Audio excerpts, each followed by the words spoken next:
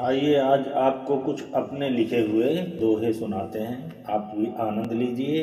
मन में आता है लिख लेते हैं और अपने मन को ही सुनाया करते हैं, गुनगुनाया करते हैं। आज मन हुआ तो सुनाया जाए। अगर आपको अच्छे लगते हैं तो हमारा उत्साह वर्धन करना। शायद आगे भी कुछ ऐसे ही वीडियो डालते रहेंगे। आइए सुनाते हैं जो दोहा हमने लिखा है। अपनी अपनी सोच है। अपने अपने ठो मम ही में श्री राम है आप ही कोई और।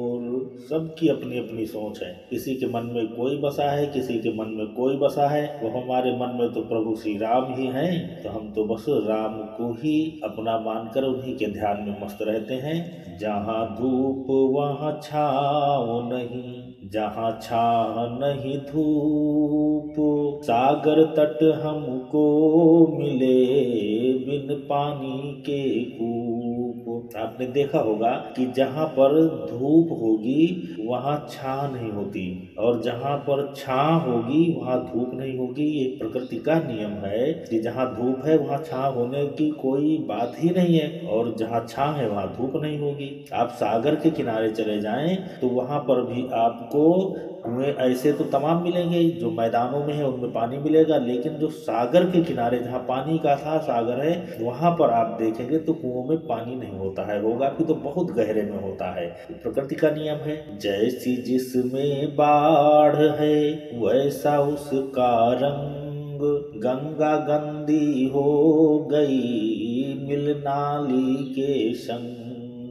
जिस व्यक्ति में जैसे भावों की बाढ़ है, वह व्यक्ति वैसा ही दिखाई देता है, वैसा ही क्रियाकर्म करता रहता है। इसे किसी के कोई समझाने या बताने की ज़रूरत नहीं है। वह अपने भावों की बाढ़ से ही बहा करता है और वैसा ही क्रियाकलाप करता रहता है।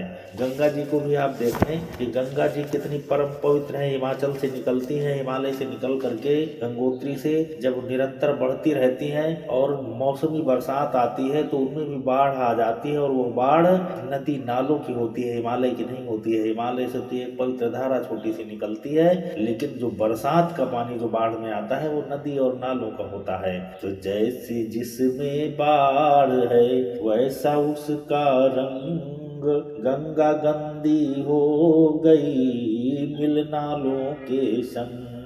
कितनी किस्में कीच है, लोग गए सब भूल। दुनिया केवल देखती, खिले हुए